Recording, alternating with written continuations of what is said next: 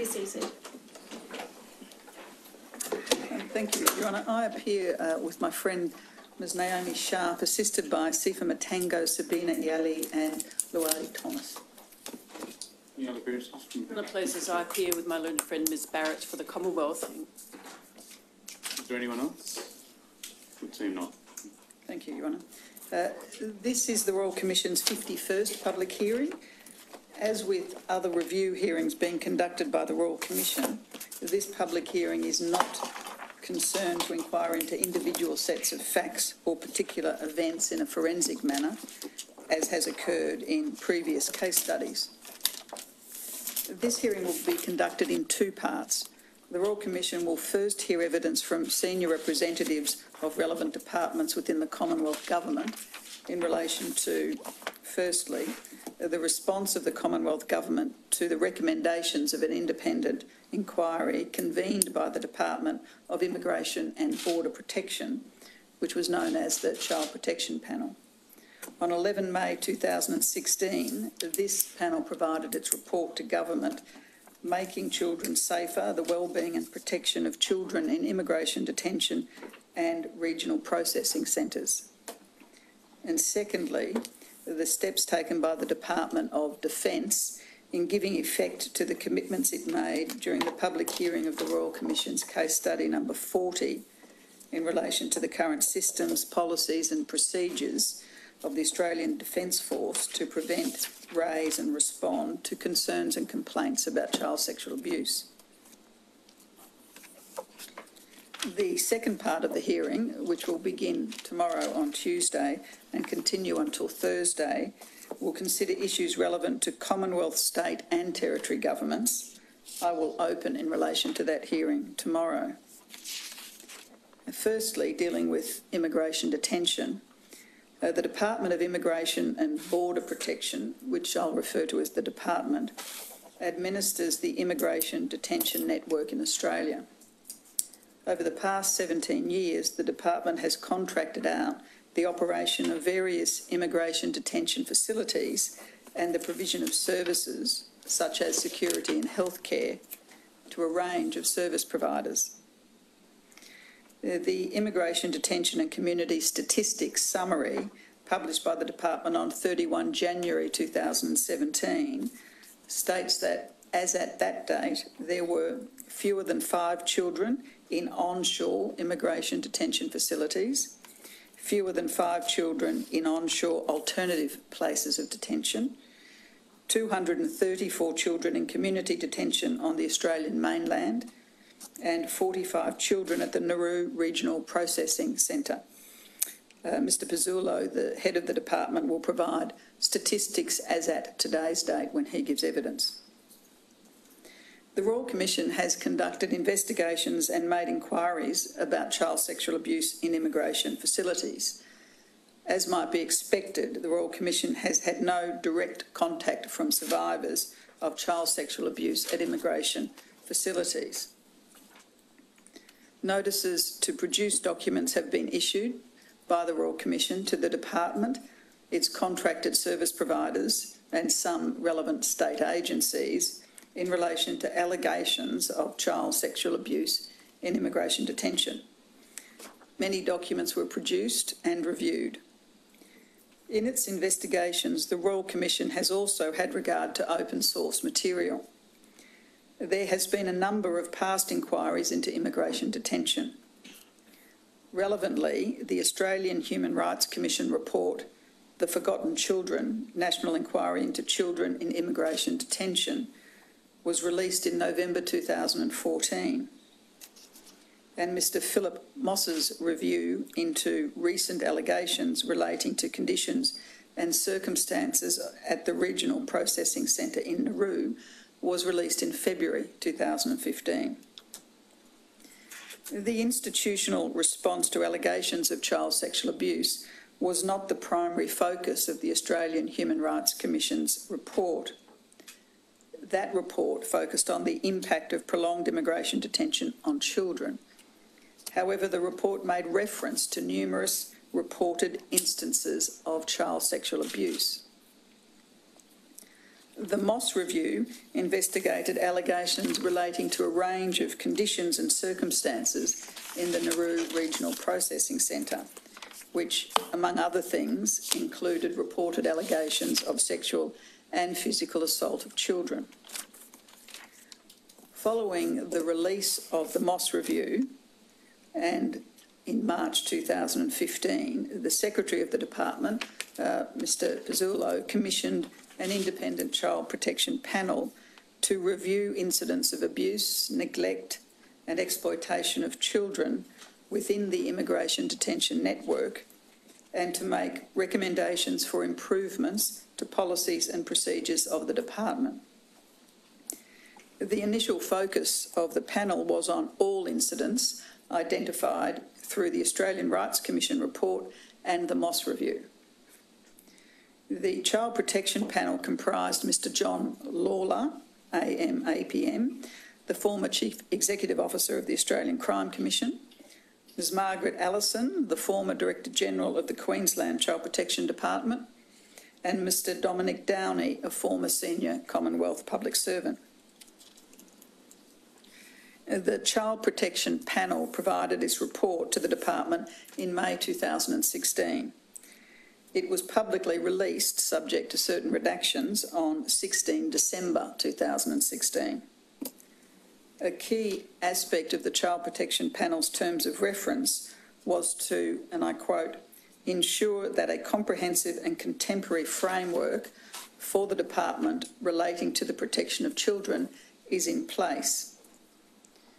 That framework was in place by the time the panel had completed its work and recommendations were made by the panel about its implementation. The Child Protection Panel made a number of observations, findings and 17 recommendations. One recommendation was that the department consider drawing to the Royal Commission's attention certain enhancements that could be made to Australia's mandatory reporting arrangements. The panel's report outlined the complexity and legislative inconsistency in mandatory reporting requirements across jurisdictions. Ms Margaret Allison, one of the members of the panel, Mr Michael Pezzullo, as I've said, the Secretary of the Department, and Ms Cheryl Ann Moy, the First Assistant Secretary of the Children, Community and Settlement Services Division of the Department, will give evidence. In August 2016, after the panel's report was provided to the government, and before its public release, the Guardian newspaper published 2,116 incident files which were described as leaked from the Nauru Regional Processing Centre. The Guardian's analysis of the files was that more than half of the incident files, that is just over a thousand incidents, involved children. Following that publication on 12 September 2016, the Senate referred to the Senate Legal and Constitutional Affairs References Committee an inquiry into serious allegations of abuse, self-harm and neglect of asylum seekers in relation to the Nauru Regional Processing Centre. Uh, the scope of this Senate inquiry includes an examination of factors that contribute to abuse, how abuse is investigated, obligations of the department and its contractors, provision of support services and the role of an independent children's advocate. A report is due in respect of the inquiry on the Senate's last sitting day in March 2017. Given the nature and scope of the Royal Commission's investigation, the completed inquiries and the work proposed, uh, this public hearing will consider the response of the Commonwealth Government to the Child Protection Panel's report.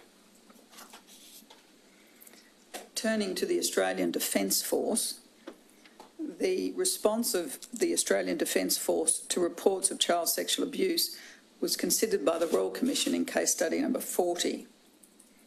Among other matters, that case study inquired into the experiences of survivors of child sexual abuse within the ADF cadets since 2000.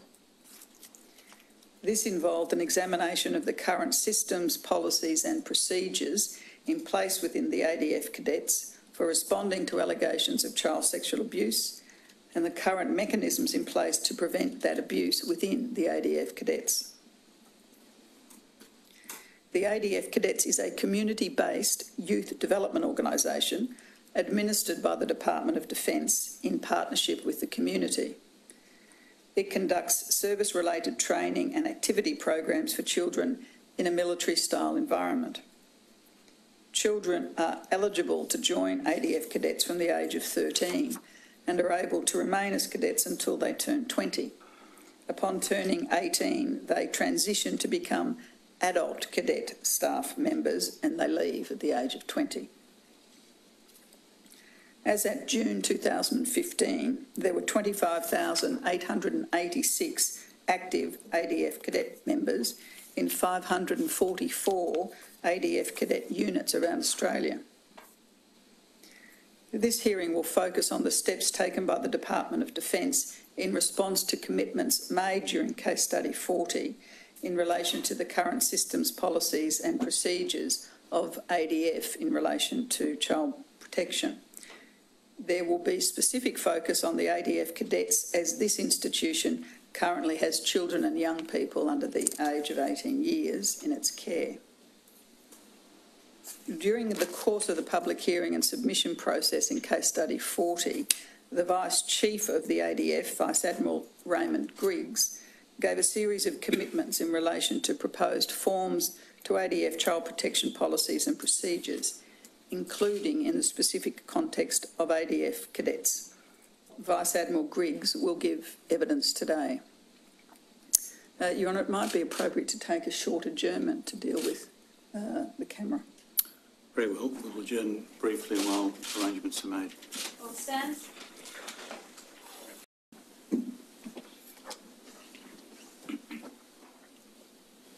Please be seated. First panel in relation to immigration. You each need to be sworn to tell the truth. Will any of you take an oath on the Bible? Uh, Yes, Your Honour. All of you? Yes. Would you all stand then for me, please? Take a Bible and repeat after me. I swear by Almighty God I swear by Almighty God that the evidence I shall give to this Royal Commission that the evidence I shall give to this Royal Commission shall be the truth, shall be the truth, the whole truth, The whole truth and nothing but the truth. and nothing but the truth. Thank you. Take a seat. Thank you. Can I uh, begin with you, Mr Pezzullo? Will you tell the Royal Commission your full name and occupation? Uh, My name is Michael Pezzullo. I'm the Secretary of the Department of Immigration and Border Protection and I'm a Statutory Officer of the Commonwealth Thank you. How long have you held that position? uh, since October of 20 2014. Before that? I was the Chief Executive Officer of the Australian Customs and Border Protection Service. I see. And before that? I was the Deputy Chief Executive of the same service, So you've worked in this general area for some time. Approximately eight, eight years. Thank you. Uh, now, you will have heard in my opening, Mr Pezzullo, that I referred to held detention, community detention and regional processing centres.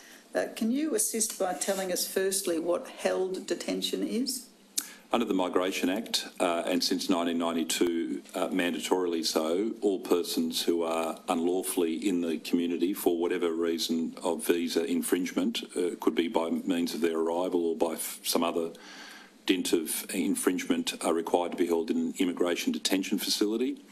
Uh, since uh, the 1st of July 2015, those facilities have been run within my department by a statutory body known as the Australian Border Force and prior to that, relevantly, they were run by the department proper, uh, assisted by various contractors. That's held detention, otherwise uh, sometimes referred to as onshore detention.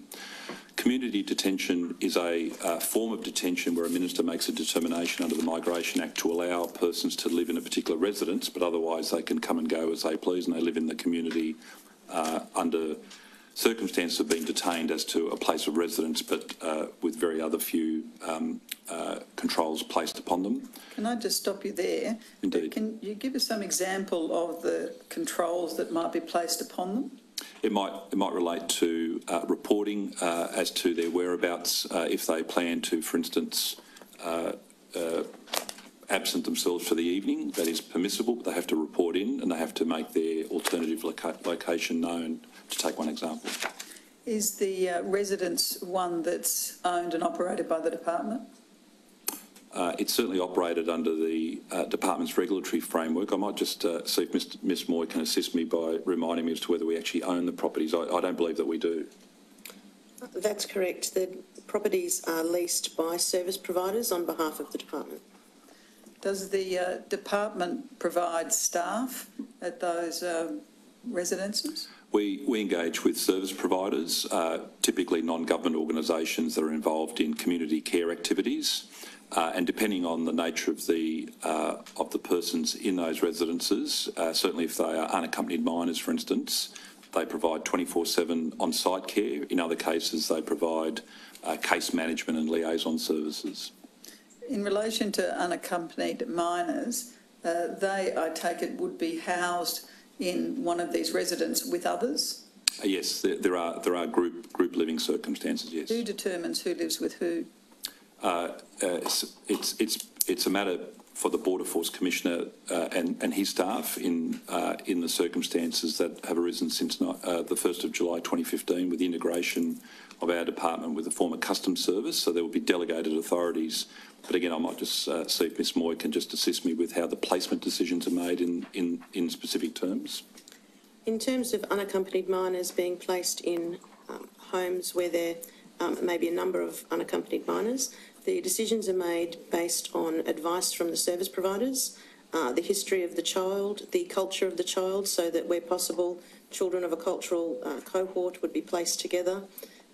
So we take advice from the various people who look after the children as to where um, they're best placed. Are those uh, service providers uh, people with child protection experience or do they employ or engage people with child protection experience for the purposes of this matter? Th- They are not uh, of themselves child protection authorities as such. They are. They tend to be uh, non-government organisations that assist in other like activities such as refugee settlement and support services. Uh, but they are required uh, to undertake uh, all the various checks that are that are relevant in, in this area, uh, subject to state and territory jurisdiction as well. And we require working with children checks, um, and then they have access to. Through their own contracted arrangements, welfare and other social work social worker type advice. Uh, but again, I might ask Ms Moy to add to my answer if that's if that's Certainly. permissible. That is correct. The, um, the service providers, there's 11 service providers, and those providers are contracted to the department under the Status Resolution Service. The, each organisation is required to provide the department with a child protection plan, an annual plan, and that is reviewed by the department each year. And that um, contracted body is responsible in turn for contracting experts in child protection or those with child protection experience to staff the residents and make decisions or recommendations on who lives with who. That's correct. So it's two removed from the department. Well, they provide advice as to who would be located in a particular house. The decision would um, remain with the department in regard to the actual placement. So the department takes responsibility as to who lives with who. Absolutely. Thank you. Was there anything else you wanted to say about community detention, Mr Pezzullo? Uh, no, I was going to move on to regional processing. Thank you. Uh, regional processing, or sometimes known as offshore uh, processing, uh, has been pursued by the Commonwealth uh, uh, twice in our recent history. Uh, in the late 90s, early 2000s period, it's sometimes shorthandedly referred to as the Pacific Solution, when certain maritime arrivals were sent to uh, Nauru uh, and the island of Manus in Papua New Guinea. Uh, those arrangements were uh, dismantled and not proceeded with uh, through the mid 2000s. Uh, with the onset of illegal mar- maritime arrivals, as they're known um, administratively and under law from 2008, the then Gillard government decided to reinstitute the policy of regional processing as a result of a report that it received in August of 2012, and the first transfers were effected shortly thereafter in September or, or October of 2012. Uh, regional processing, in summary, involves the transfer from our Migration Act of persons intercepted at sea who have attempted to come to Australia by illegal maritime means, and they are transferred respectively either to Nauru or to Manus in PNG.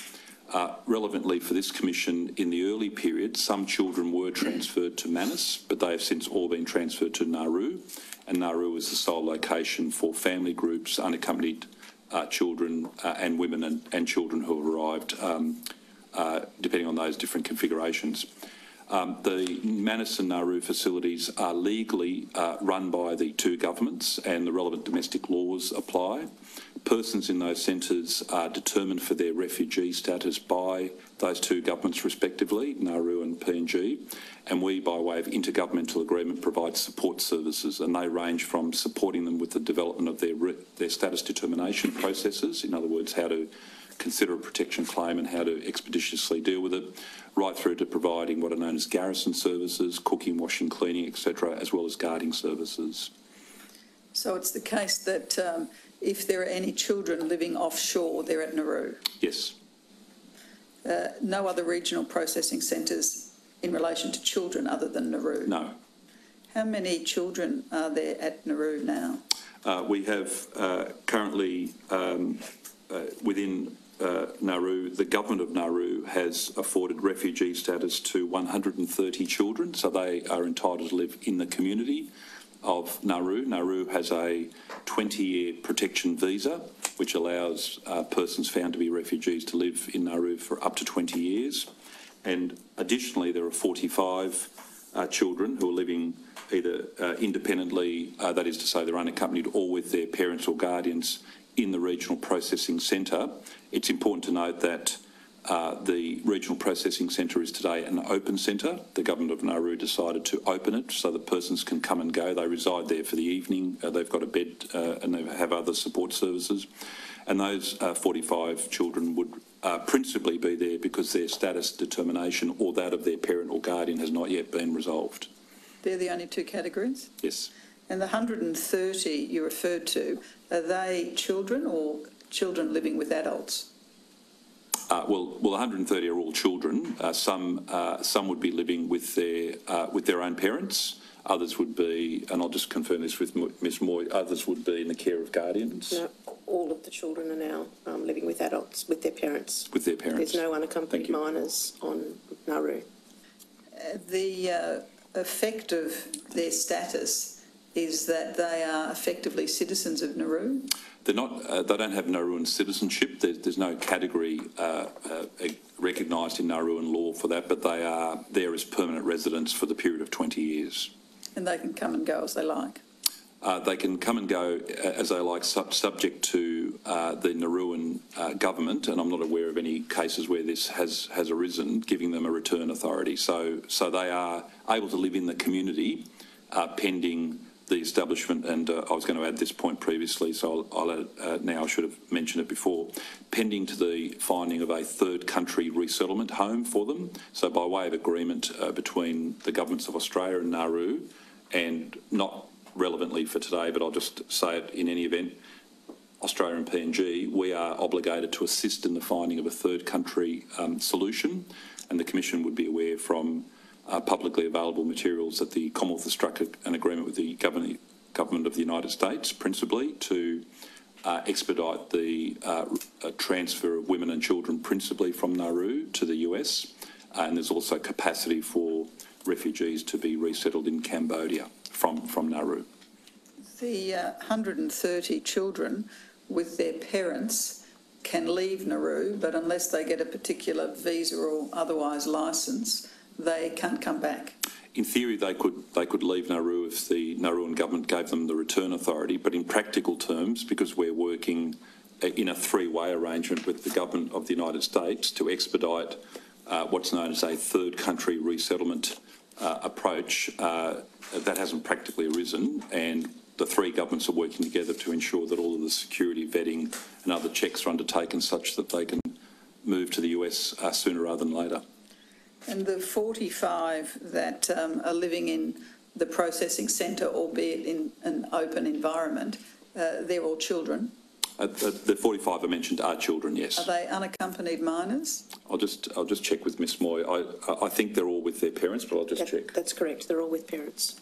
Are there any unaccompanied minors in Nauru? No, No? it's not. Uh, perhaps you can just explain what unaccompanied minors means, even though it might be obvious.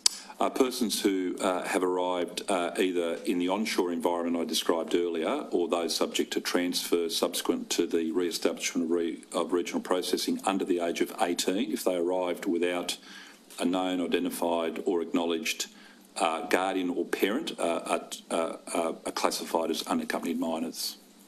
And for the purposes of your department, those living in Nauru, the 130 and the 45, are all considered to be under the supervision and legal guardian of their parents.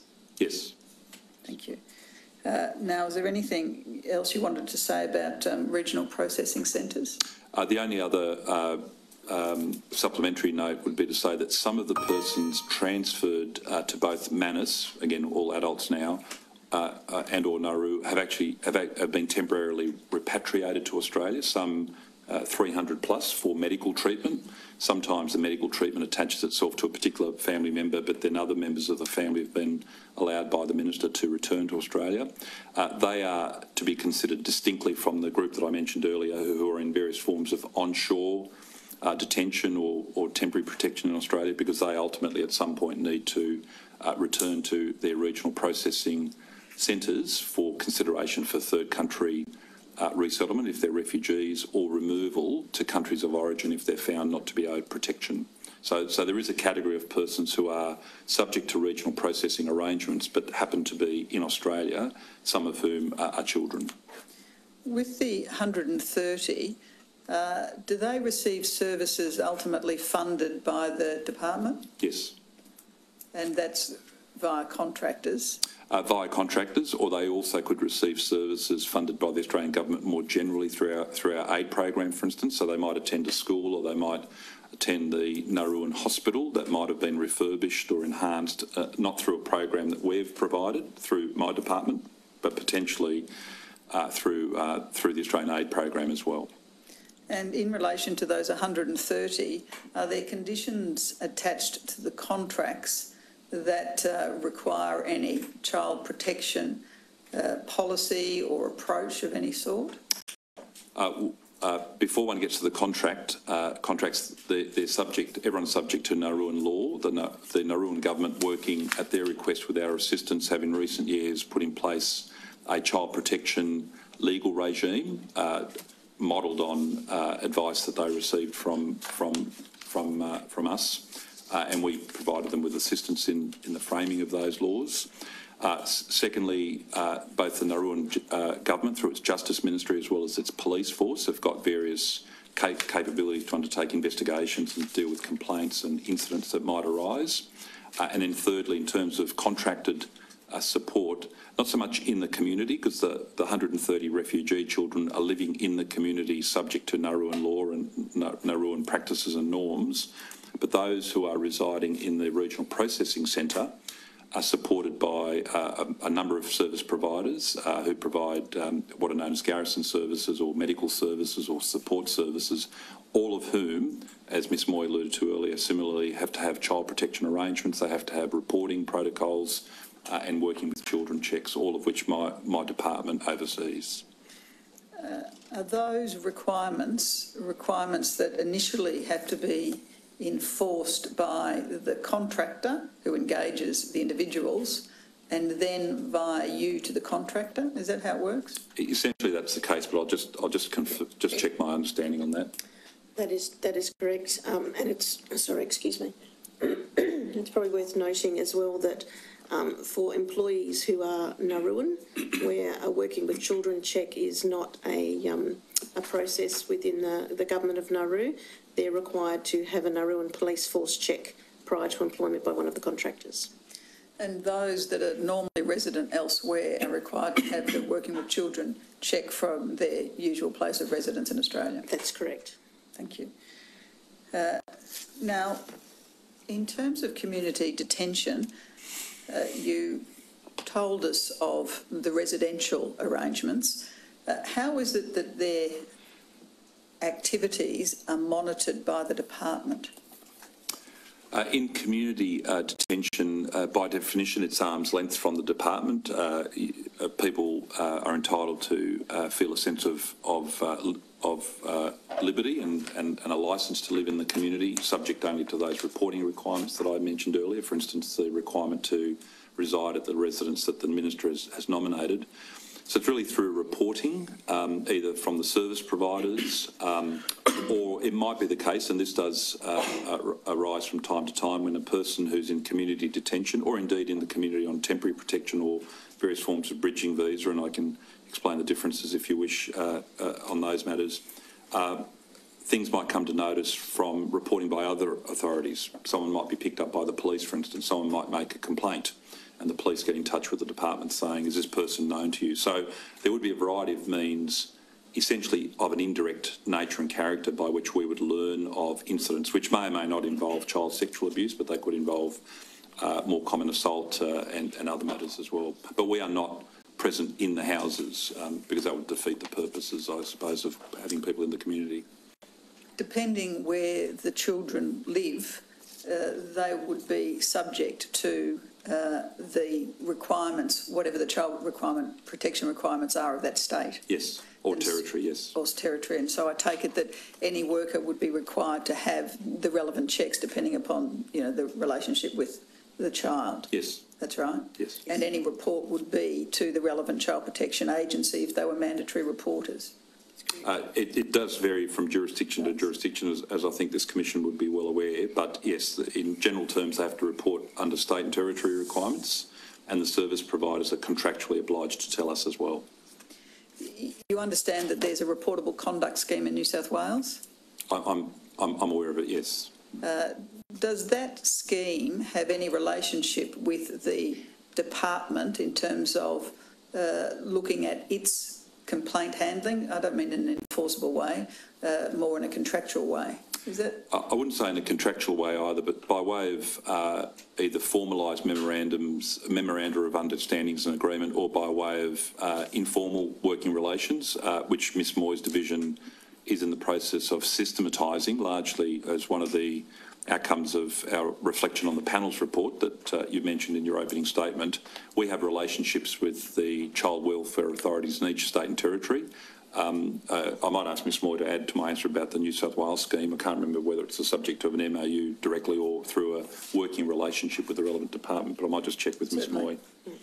So the department has signed a memorandum of understanding with the um, department, the State Child Welfare Authority in New South Wales and in Victoria.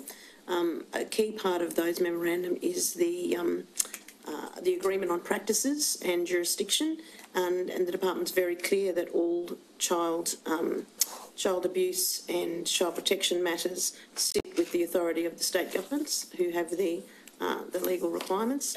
That that being the case, we assist the state authorities um, in any investigation uh, fully and in access to any child who may be in detention or may be in uh, community detention. And equally, it covers uh, matters such as information sharing. So any information that we have that would be of benefit to the um, to the, the State Child Welfare Authority.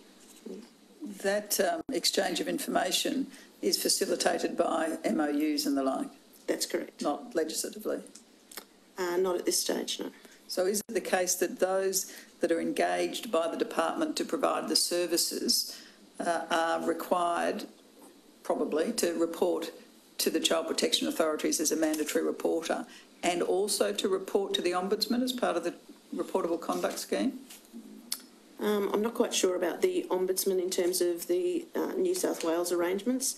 In terms of um, our contractors are required to report to the state child welfare authorities, both contractually and as a mandatory reporter, and also to um, relevant police authorities or t- and to the department. Um, so, in terms of the ombudsman, I would have to check what New South Wales arrangements Well, is. perhaps you could advise us uh, over the course of the next few days. That would be very useful. We do that. Uh, Now, the Moss review, Mr Pezzullo, uh, was provided in February 2015, and that was a review that was sought after the Human Rights Commission provided its report, or just shortly prior to it? No, the Moss review uh, didn't have a direct nexus uh, to the Human Rights uh, Commission uh, report. They were roughly uh, undertaken uh, uh, at the same time. The Human Rights Commission had had, had a longer preparatory phase. Mr Moss uh, was engaged in October of 2014 to look at a, uh, a particular set of allegations that had arisen in relation to certain incidents and allegations on Nauru. Uh, and he had a shorter turnaround time and he reported, as you say, in, in February of 2015. Who was Mr Moss? Uh, Mr Moss, uh, former uh, um, a Commonwealth uh, statutory officer, most uh, recently prior to his uh, retirement from the Commonwealth Service, the Commissioner for Law Enforcement Integrity.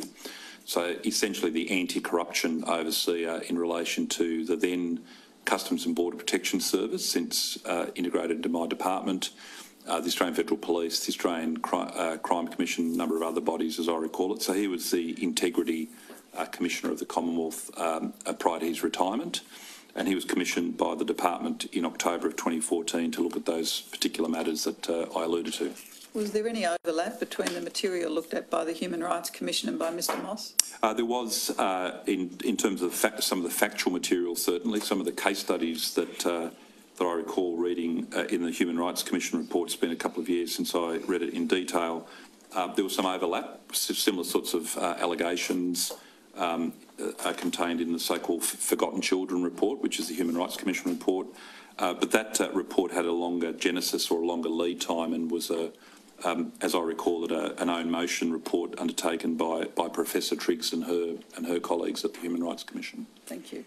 How did it uh, come about that the decision was made to establish the Child Protection Panel? Uh, well, um, with both the uh, Human Rights Commission uh, in its final phases of its inquiry, uh, when I became the secretary in on the 13th of October 2014, in fact, one of one of my very first tasks was to sign off what proved to be ultimately our uh, penultimate uh, response to the Human Rights Commission. Uh, the Moss review had been commissioned just uh, 10 days prior to me taking up the position, but as incoming secretary, Mr Abbott, the Prime Minister, had announced my appointment, so the department was good enough to uh, notify me of their intention to undertake this review. Uh, I came into uh, office in October 2014 uh, and uh, virtually from the first week, uh, Mr Morrison, the then Immigration and Border Protection Minister, he was still Minister for a number of months prior to his uh, change of portfolios at around Christmas of that year. Uh, he made it very clear to me that one of my highest priorities as Secretary was to get on top of both um, the question of numbers of children in, in detention as well as their care and looking at the protocols and reporting systems that sat around both held detention, community detention and also uh, acknowledging and noting the indirect jurisdiction uh, that I mentioned earlier in terms of regional processing, doing what we could uh, to attend to the protection and the welfare of children in uh, Nauru. By that stage, there were no children in Manus. So, as an incoming secretary, it was perhaps one of my highest areas of focus. Uh, I reflected on these matters. Uh, Moss reported, uh, well, sorry, the Human Rights Commission, first of all, reported within a fortnight of my taking up office. So obviously I um, had seen the draft reports, I'd seen the department's responses, so I, I immersed myself in that. Um, uh, Mr Moss, who I'd known from previous, um, uh, my previous role as the head of Customs and Border Protection, uh, he certainly made it clear to me that he, he felt that some of the protocols, reporting systems and procedures were not uh, what they should be, and that was borne out by his report that was subsequently publicly released. Um, and the third factor that I wish to draw to the Commission's attention was, in terms of my own preparation for my first engagement with the Senate, uh, which arose uh, in the context of Senate estimates before the Legal and Constitutional Affairs Committee on the 23rd of February, um, it proved to be challenging uh, to establish uh, clear lines of authority and accountability and clear lines of data. Uh, and I felt that with all of those uh, factors that I had to consider between October and February, that it was very much time to take a fresh, clean and in, independent look at these matters. I consulted closely with uh, Minister Dutton, who'd been appointed at around Christmas of, um, uh, the date escapes me, but it was either very late 2014 or in the very first uh, days of 2015. He, similarly to Mr Morrison, made it very clear that this was a very high priority for him. He made it clear to me that as a former um, uh, officer of the Queensland Police Service, uh, where he'd worked in sexual assault and child protection areas, was something that he was very personally very focused on.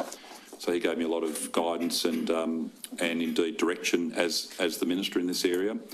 Um, so without being able to sort of quantify those factors, I, I suppose I would say to the Commission that between October taking up the position, and by February, when I was preparing myself to be questioned for questioned by the Senate, I, I was very focused on this issue.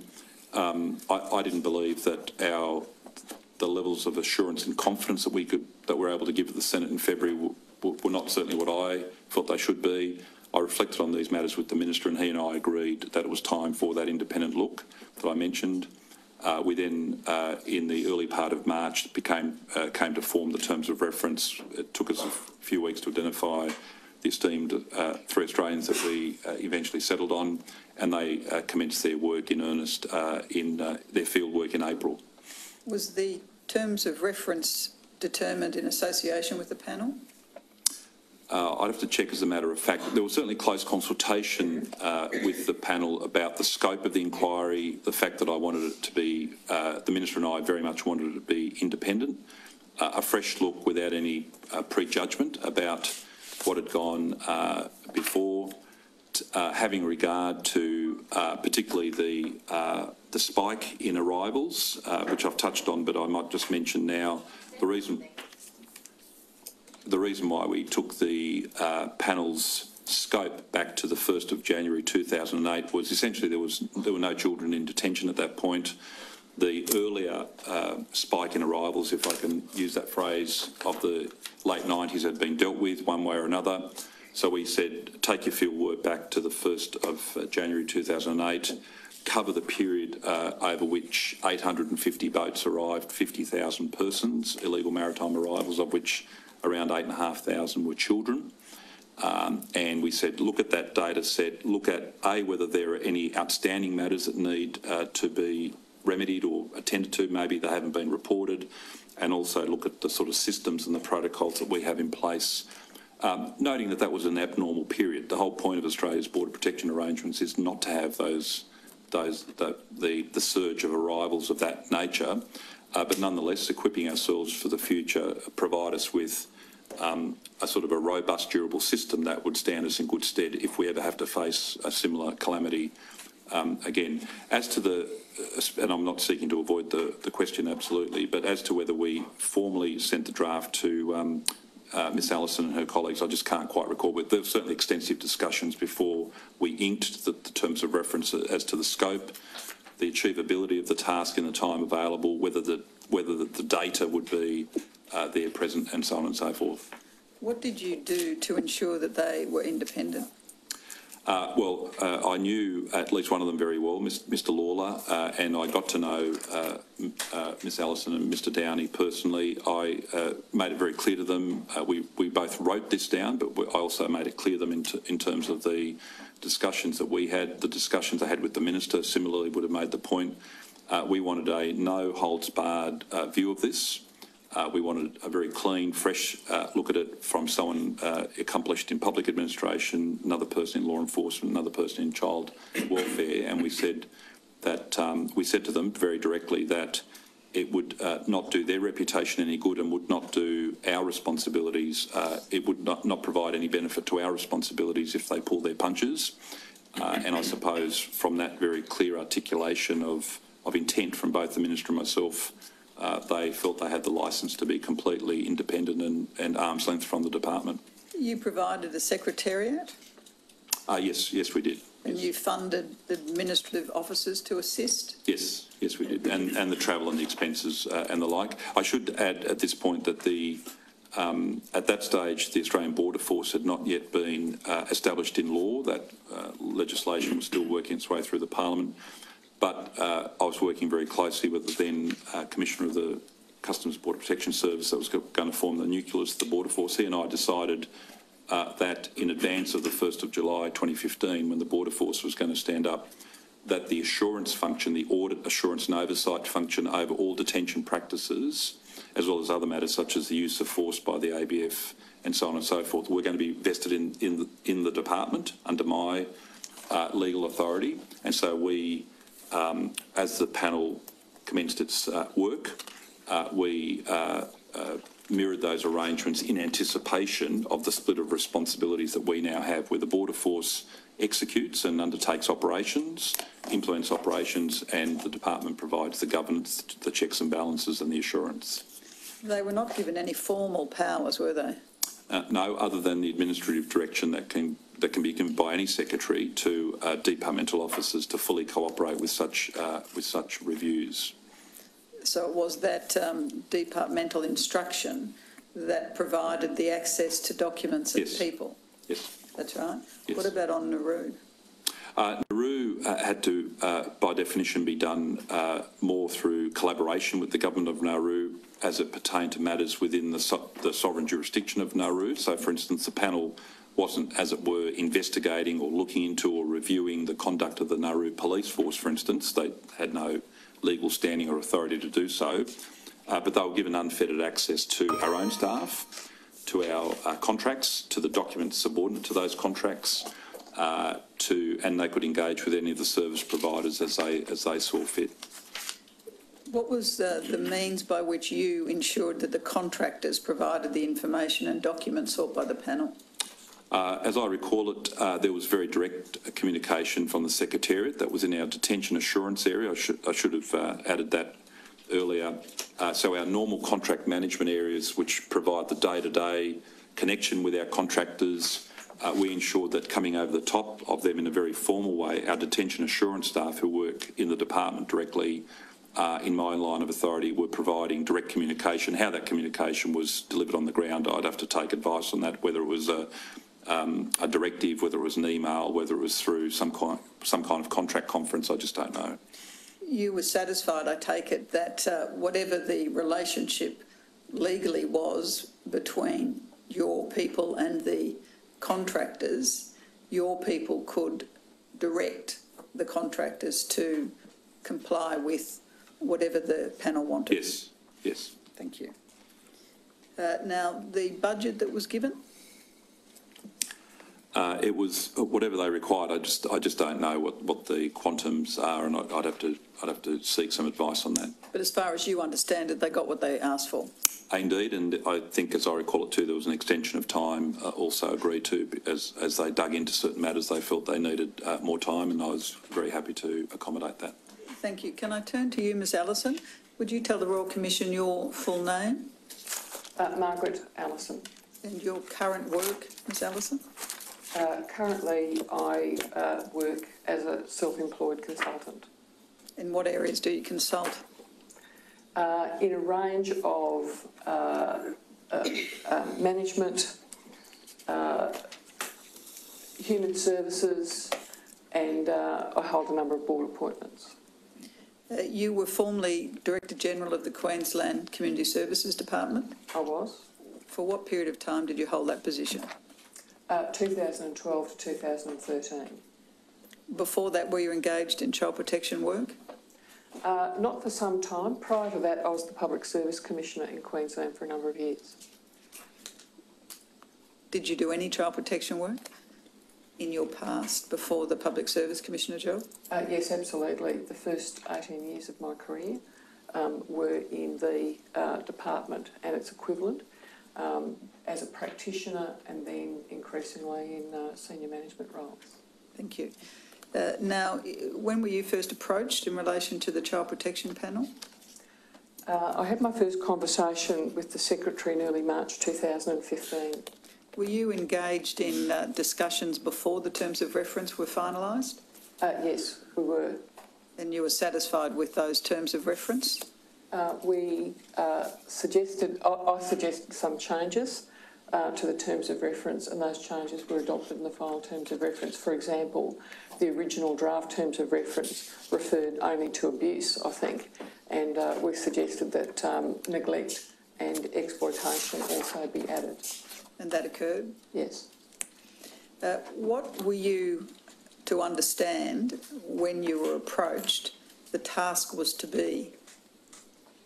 Uh, initially, the task was focused on uh, looking at um, uh, some past cases relating to uh, children in held detention in Australia.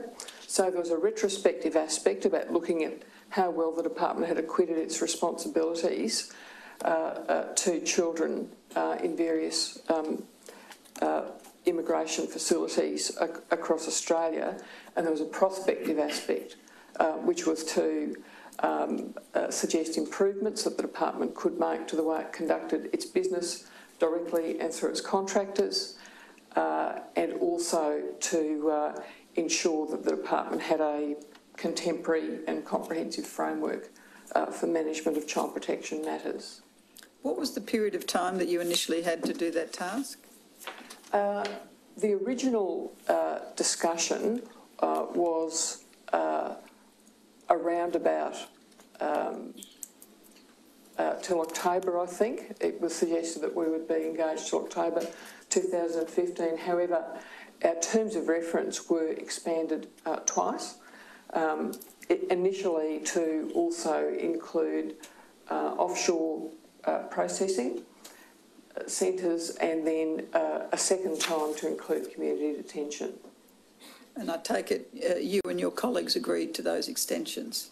We did. From your description of the initial task, Ms Allison, it seems extraordinary that that could be done in six months or less. Uh, yes, at that stage, I think it's fair to say that we didn't know uh, the number of cases uh, that we would be looking at. Um, it became uh, evident uh, early on that we would need to use a sampling methodology. Just before we come to your methodology, uh, the two extensions that you referred to, were they that were sought by you or given to you? Uh, they were not sought by us. And you were given, I assume, a time frame that was responsive to the additional work. I think uh, we uh, shared a the sense of urgency that the department had um, about uh, understanding what was happening and getting a new uh, regime uh, in place. And so we, it's fair to say we worked at a level of intensity that we hadn't envisaged when we uh, initially agreed to do the work. And uh, we uh, agreed that we would complete our work by 30 June 2016. And did that happen? Yes, Thank you. Do you have a copy of the panel report with you? I do. Uh, can I just ask you to turn to page 16? Uh, that's where you set out effectively what you did. And um, perhaps that could come up on the screen. Uh, Your Honours, I might um, tender at this stage the volume which is um, relevant to this part of the case study, Which is, which is So part one, tender bundle, which is in three volumes, I'm told.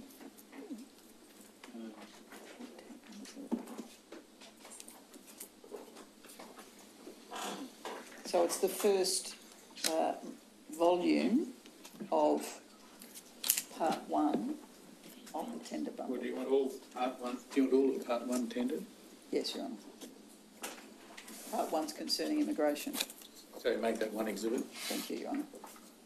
well, that, those three volumes together will be exhibit 51 and done. Thank you, Your Honour. Uh, so it's tab seven of that tender bundle is the report. Uh, you have page sixteen. Uh, yes, I just want to make sure we have the same. Um, page 16. Um, this is the version I have. Well, that looks very similar to mine. Let's see how we go, shall we, Miss Allison? Well, perhaps we can provide you with ours to make sure we are literally on the same page. I can read it on the screen quite well, though. Thank you. Uh, well, perhaps we'll start with that and we'll provide you with one in due course. Uh, on the screen, the second paragraph, this review is first to assess in detail. Do you see that? Yes. such a large number of incidents uh, across all Australian detention centres. Now, who determined the incidents?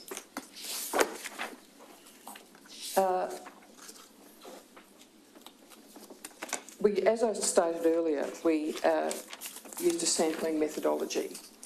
Um, there were, uh, so the uh, broad uh, settings were established um, by the panel and we were working with a team of people in the detention assurance area uh, in the department.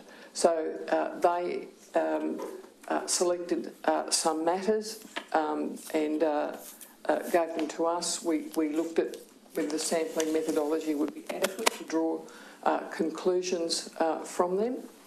Um, and we also did looked at a sample of cases that were not included in the matters given to us to confirm that we were um, uh, getting the right kind of cases that we needed to look at.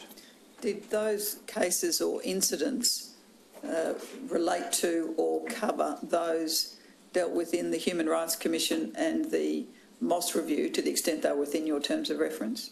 They did, And That was indeed part of the initial focus, I take it, to look at those. yes. Now, um, from your sampling methodology, how many incidents did you decide that would that you would look at? There was a sequencing um, to our work. So initially we looked at RPC Nauru, with the exception of the 44 uh, cases identified in the Forgotten Children report.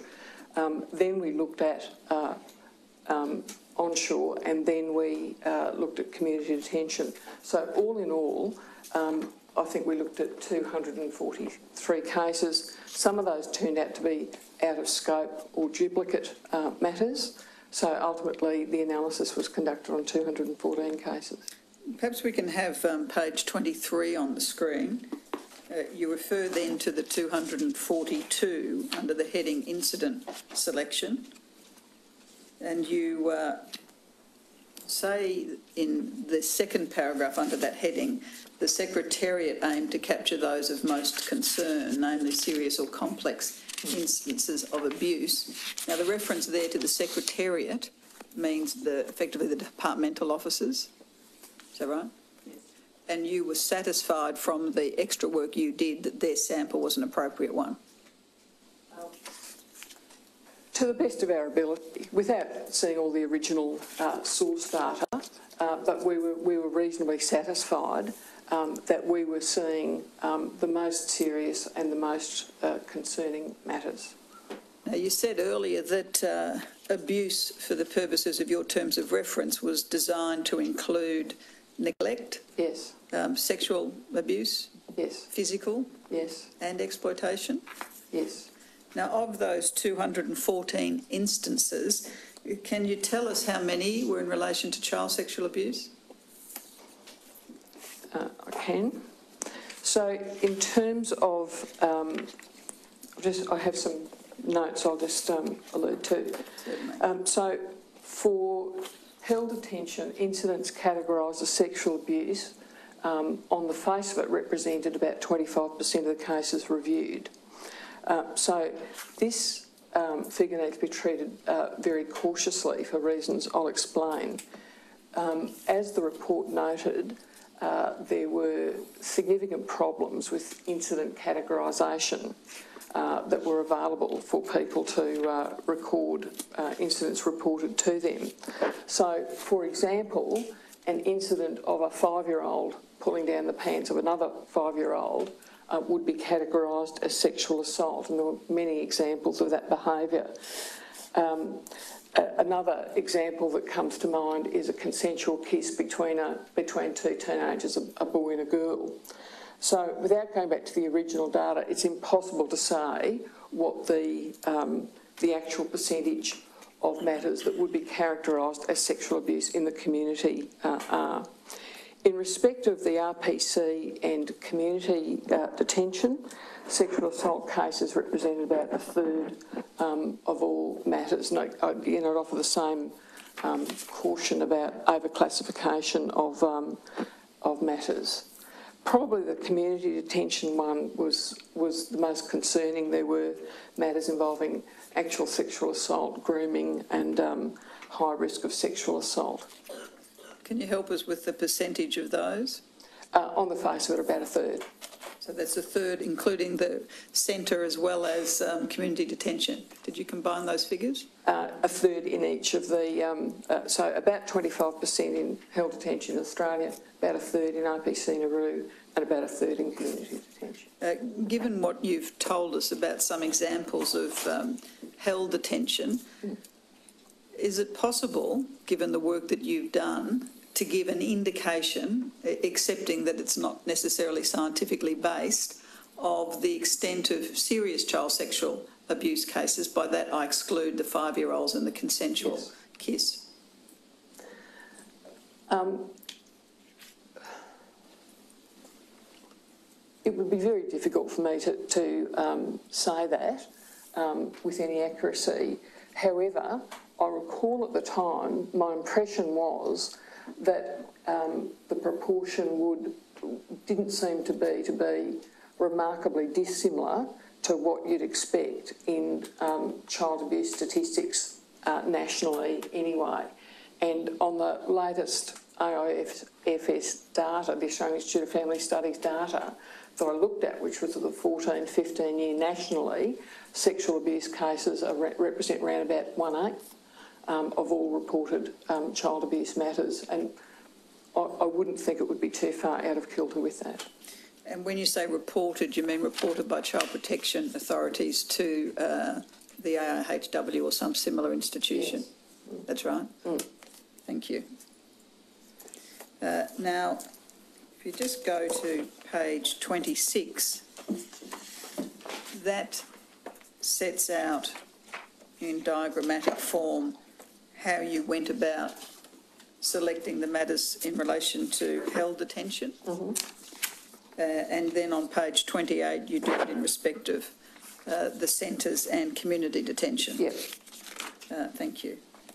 Now, you heard me asking Mr Pezzullo about how you went about uh, being given access to people and documents. Uh, how did that work from your point of view? The, um, it's probably fair to say that the, um, the actual process of gaining uh, documents, um, the hack work of which was done by the Secretariat um, on our behalf, um, was an extended and challenging process due to the um, the state of the department's information holdings, and bearing in mind that it was a department itself that was uh, undergoing integration during the time that we were uh, conducting our work. So um, there was no single data set in relation to a particular individual or family that could be drawn on as a complete uh, set of information. Bearing in mind the um, uh, many of the services were provided by contractors, uh, they needed to be approached to provide um, uh, their relevant documentation in relation to uh, uh, cases that were identified for um, further examination and review. Were you concerned at any time during your seeking access to documents and people that there was a resistance to what you were seeking? I think it's fair to say um, that early on uh, there was a sense that uh, although the, the Secretary and Commissioner had issued an instruction early on uh, to senior officers in the department to cooperate fully with the inquiry, um, I think it's fair to say there was a lot going on at the time, and uh, we were of the view that there was a um, certain lack of urgency in some quarters in responding. Uh, so um, we we sought, and the secretary agreed uh, that he and the commissioner would put out a, a fairly explicit directive to people um, requiring them to comply with any requests uh, we had for information.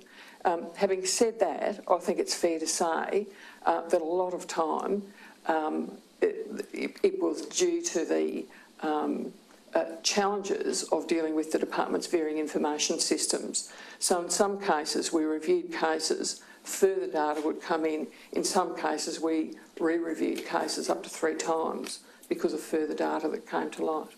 What about access to and perhaps resistance from contractors?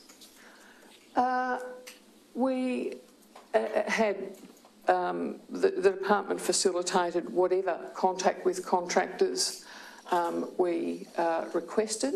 Um, we met with all the relevant uh, contractors. Um, uh, sometimes there were matters that we uh, felt should be uh, further uh, followed up on. Uh, so, for example, if there was an allegation concerning um, a staff member employed by a contractor, uh, there might have been something uh, uh, lacking specificity in the file saying that person was subject to disciplinary action. Well, in, in, a, lot of, uh, in a number of cases, we sought that the department write to the contractors and find out what had actually happened to the person, whether they, for example, had been moved or dismissed. Now, you um, consulted with a variety of people during the course of your review. Is that right? We consulted um, with a range of people inside the department who were responsible for um, oversight of the relevant uh, functions and um, uh, with service providers. Did you also consult with um, various people within uh, child protection and police and law enforcement outside of the department? Uh, no, No? Just have a look at page 18 of your report, if you would.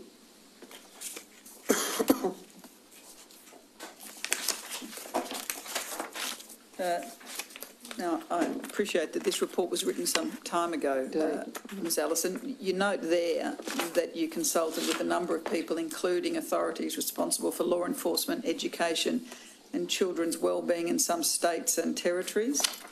Um, if I can correct my earlier remark, we did meet with some uh, police, uh, education officials and welfare officials uh, in the Northern Territory. not in uh, any state. Uh, not to my best of my recollection. Did you talk to any children? Um, we didn't talk to any children, Was that something? except incidentally as we walked through detention centres. Was that something you consciously thought about?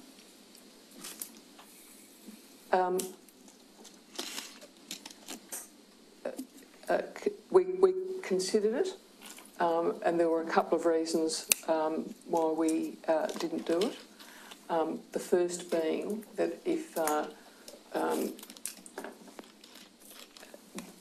the first being about the well-being of children themselves, bearing in mind that we were going back to incidents in 2008. Um, some of those incidents would be um, a long time ago for children, and I doubt that some of them would have recollection of things that would happen when, when they were very young. For those that did have a memory of things that might have happened to them, um, we were concerned about um, adding uh, further trauma. My two colleagues had not um, had recent experience in any um, uh, interviewing of children, and neither had I. It's been many years since I've um, worked directly in that area, so we didn't want to um, cause further harm uh, to those children. But also, given the volume of our work, it, was fairly clear that to achieve what the Secretary had asked us to do, it would need to be, by and large, uh, a desktop review. Did you think about talking to children about their current sense of safety in immigration detention? Uh, uh, yes, we did think about it. Um, I think that, um, again, we uh, um, came to the view uh, that um, uh, we didn't want to engage with those children directly to um, alarm or traumatise them further. Um, we were very actively engaged with the people who were providing services directly to those children uh, and uh, reasonably satisfied that they were giving us an accurate representation of what children were telling them. Thank you. Now, you uh, issued an issues paper. Uh, we did around Christmas 2015. Uh, we um, gave an issues paper to the department highlighting um, the top things we thought the department could do as we worked our way to the final report um, to improve the safety of children subject to immigration detention arrangements. Was um, your attention that they would start working on those things before you completed your report? Uh, absolutely, and indeed that was part of the instructions the secretary gave to the panel at our earlier meeting. What he wanted to do um, was not wait until we finished all of our work before they uh, did anything, but he requested that we consider what he called infusing our findings um, as we went, so that there could be um, the department could be um, gearing up even as we were still undergoing our work. Thank you. Now, you refer in your report to community detention being the primary form of detention of children awaiting status resolution in Australia. Was that a significant part of your work, community detention? It was, regretfully, it was the least part of our work. So um, we really only had uh, a couple of months uh, to uh, focus on that because of the time taken um, uh, with uh, looking at held detention in Australia and RPC uh, Nauru. Can I turn your attention to page 42 of your report? This is where you deal with community detention. And in the key messages, you refer to uh, responses to incidents of child abuse being assessed by the panel as being adequate or better in just under half of the cases reviewed. Yes, Now, I, I take it from that that you developed with your colleagues an assessment uh, criteria, uh, we did. and the response referred to there is in relation to the very various report uh, making and responding to procedures in the department. Sorry, would you mind rephrasing that? Certainly, your reference to the response Yes, being the response of the department and/or their contractors to allegations. uh, to both, both department and contractors, yes. Thank you. So contractors were an equal part of the work you did. um, uh, a, a very important part because they were the ones that had the um, direct contact uh, uh, with people who were the subject of the cases we reviewed. So can you help us with the 214 incidents? Uh, generally speaking, what um, percentage concerned the response of contractors rather than the direct response of the department? Appreciating some of them may have included both. Sorry, just for community detention, can I clarify? Yes, just for community detention. Um, the majority uh, would have involved um, both, um, although um, uh, initial action um, or, or the most of the action would have been undertaken um, uh, by contractors, but ultimately approved by the department. Uh, now, the reference in that first dot point uh, as being adequate or better in about half of the cases reviewed, what did you think of that finding? Um, uh, I thought it was a bit concerning. Um, uh, I, I think um, the view was, bear in mind that the ground had changed significantly since we commenced um, our review. Um, uh, many, many children and families had been moved from held detention to community detention environments. And um, uh, rightly or wrongly, uh, I formed um, the view that probably the existing service infrastructure for community detention was, was struggling a bit to deal with the challenges um, of uh, uh, providing services to children and families where there were some um, uh, difficulties or vulnerabilities um, in those families. So the service infrastructure, you mean the department's uh, provision of service via contractors, NGOs or the like to the people in community detention? Yes. Now, if we just come down to your first recommendation, which is on that page,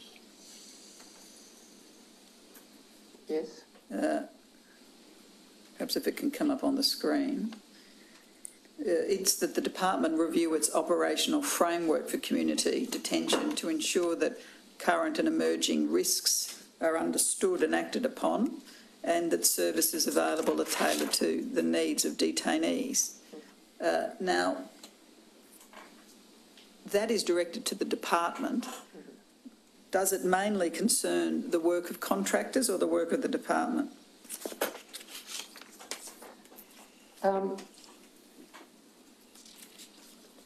it concerns both, um, but it is um, key to the department's accountability because they set the, you know, the framework wherein they um, purchase a range of services and as to what they um, ask and require uh, people to do.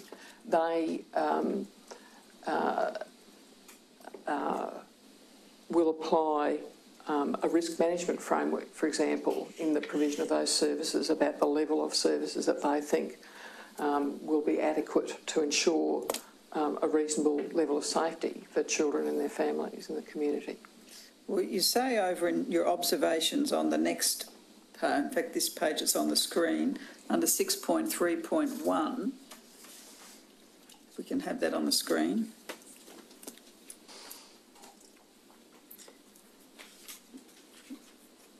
Now, you refer to a number of persons of interest who had exhibited a range of challenging behaviours, including sexual assaults. And you say that where the department is aware of these behaviours before placement, it is incumbent on them to recognise and manage the risk represented by that person. Do you see that? Yes. Now, by referring to the department there, are you referring to the work of contractors or the responsibility, as you see it, of the department to do that?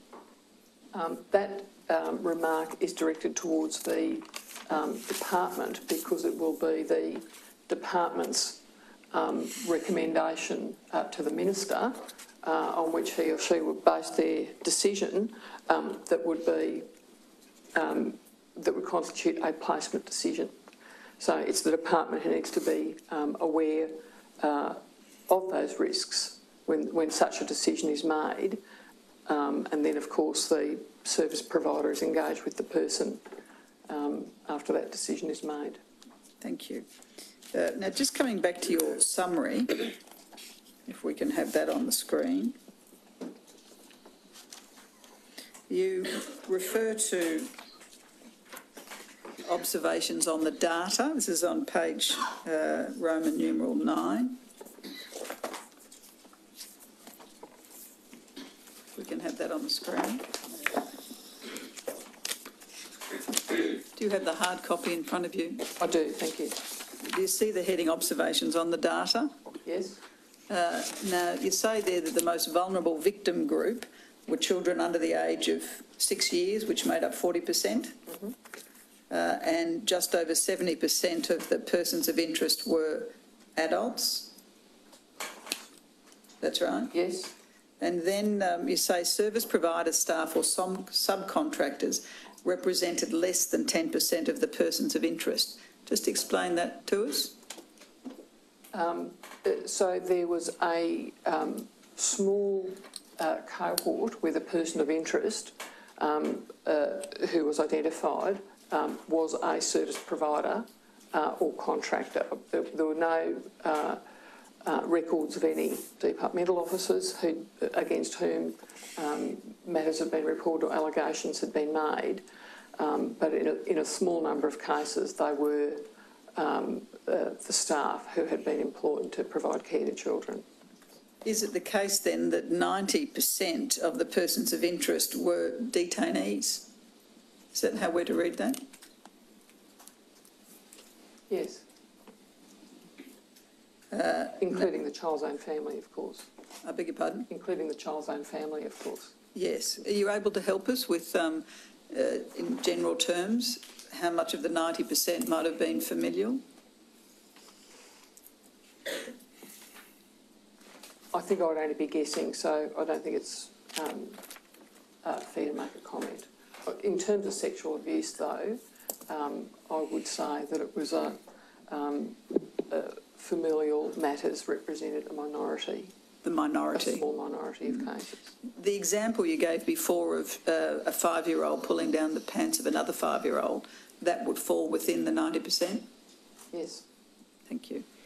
Now, the last paragraph under observations on the data uh, is say there's been a very high level of compliance by the department and its service providers, achieving 95.3% against the mandatory reporting requirements. Now, that covers all sorts of detention. Yes. And uh, in relation to the state or territory, when the uh, incident occurred on the mainland, it obviously reflected whatever state or territory they were in. When the incident occurred in Nauru, how did the mandatory reporting requirements work?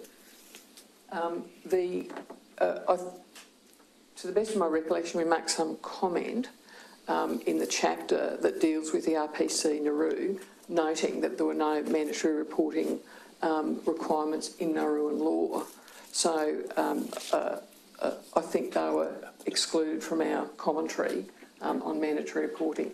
That didn't mean we didn't look at the operational reporting requirements of departmental officers and contractors working on RPC Nauru. Thank you. Uh, I note the time, Your Honour. Very well. Take the morning adjournment. All stands.